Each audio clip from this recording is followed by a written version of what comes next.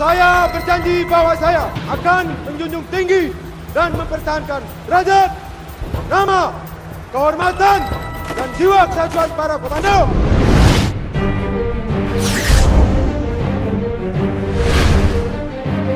Komando Pasukan Khusus TNI Angkatan Darat atau Kopassus dikenal sebagai salah satu pasukan khusus terbaik di dunia. Tidak bisa sembarangan untuk mendapatkan baret merah dan brevet komando kebanggaan korps tersebut. Para prajurit harus melewati pelatihan khusus yang nyaris melewati kemampuan batas manusia normal. Mantan Kepala Staf TNI Angkatan Darat, Jenderal Purnawirawan Pramono Edi Wibowo membeberkan pengalamannya saat mengikuti latihan Kopassus. Pramono menuliskannya dalam buku Pramono Edi Wibowo dan Cetak Biru Indonesia ke depan yang diterbitkan Kail Kitab Publishing tahun 2014.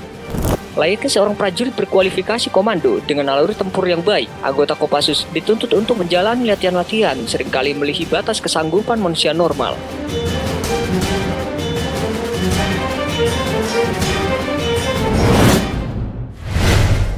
Tahap pertama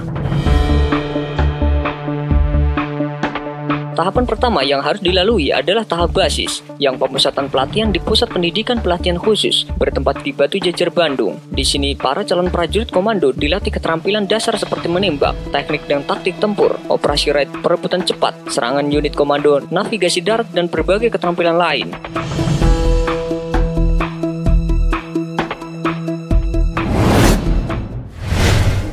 Tahap kedua,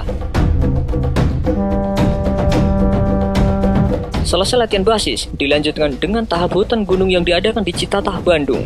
Di sini, para calon prajurit komando berlatih untuk menjadi pendaki serbu, penjejakan, anti penjejakan, dan survival di tengah hutan. Dalam pelatihan survival, para calon prajurit komando harus bisa hidup di hutan dengan makanan alami yang tersedia di hutan. Dengan latihan ini, para prajurit komando harus bisa membedakan tumbuhan yang beracun dan yang dapat dimakan, dan juga mampu berburu binatang liar untuk mempertahankan hidup. Tahap latihan hutan gunung diakhiri dengan long march dari situ Lembang ke Cilacap dengan membawa amunisi, tambang peluncur, senjata, dan perlengkapan perorangan.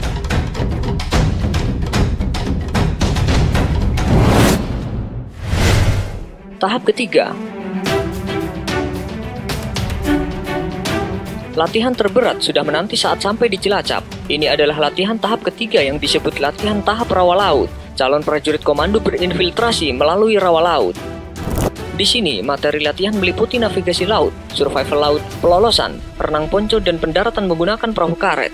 Para calon prajurit komando harus mampu berenang melintasi selat dari Cilacap ke Nusa Kambangan.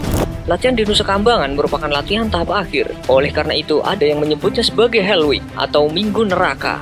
Yang paling berat dari tahap ini adalah tahap latihan pelolosan dan camp tawanan. Dalam latihan ini, para calon prajurit komando dilepas pagi hari tanpa bekal, dan paling lambat pukul 10 malam sudah harus sampai di suatu titik tertentu.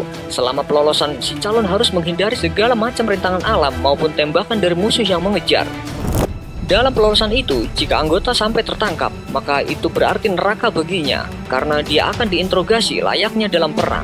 Para pelatih yang berperan sebagai musuh akan menyiksa prajurit malang itu untuk mendapatkan informasi. Dalam kondisi seperti itu, si prajurit harus mampu mengatasi penderitaan, tidak boleh membocorkan informasi yang dimilikinya.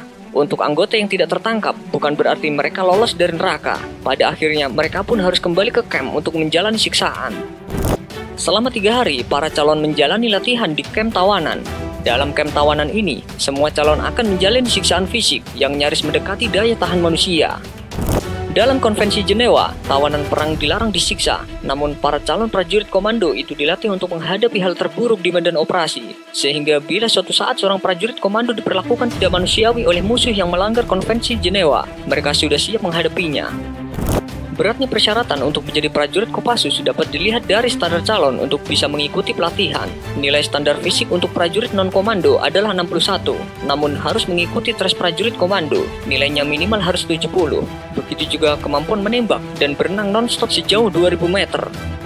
Hanya mereka yang memiliki mental baja yang mampu lolos melewati pelatihan komando. Peserta yang gagal akan dikembalikan ke satuan awal untuk kembali bertugas sebagai prajurit biasa.